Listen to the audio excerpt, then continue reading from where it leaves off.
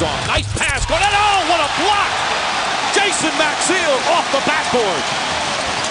Garnett was going in for an easy dunk, and now McDyess gets P.J. Brown up in the air. What a fabulous defensive play from Maxiell. Outstanding job, the big ticket, thinking he was going in for a highlight. Not on my watch, says Maxiell. Spectacular hustle, big time block shot. Another great block early in this series on a Garnett jumper. And remember, Garnett's got that high release.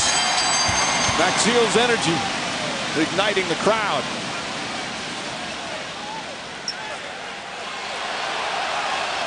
Uh, that was a guarantee, too. The free throws. I love the player tracker. More defensive floor balance that was made up for with extraordinary speed, effort, and the willingness not just to concede what most players would concede, which is a dunk to Garnett. Maxiell on a stretch here. With Celtics weather the early storm. And after the first quarter here of game four, it's a five-point Detroit lead. In the game here to start. Poked away by Hunter. Here he does it again. Usually comes in, gets a quick steal. Back to Maxiell. Energy from the bench.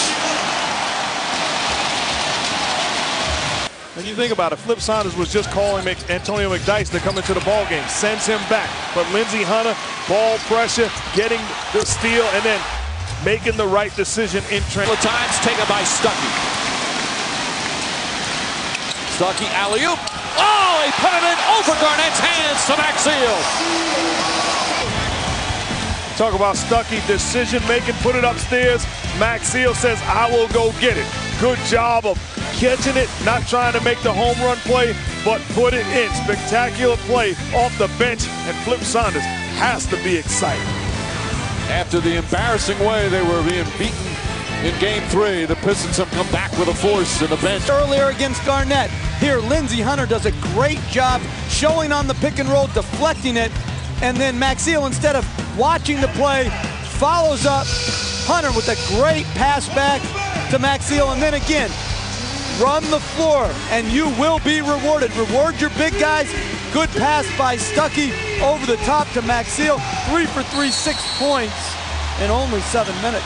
Earlier against Garnett, here Lindsey Hunter does a great job showing on the pick and roll, deflecting it, and then Maxiell, instead of watching the play, follows up Hunter with a great pass back to Maxiell, and then again, run the floor, and you will be rewarded. Reward your big guys. Good pass by Stuckey over the top to Maxiell. Three for three, six points in only seven minutes.